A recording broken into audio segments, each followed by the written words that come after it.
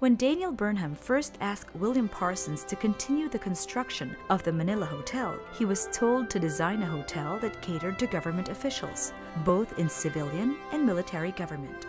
The Manila Hotel continues to open its doors to some of the most powerful men and women, from presidents to prime ministers, sultanates, and other royalty. Even until today, the Manila Hotel maintains to be the ultimate choice of the most distinguished personalities.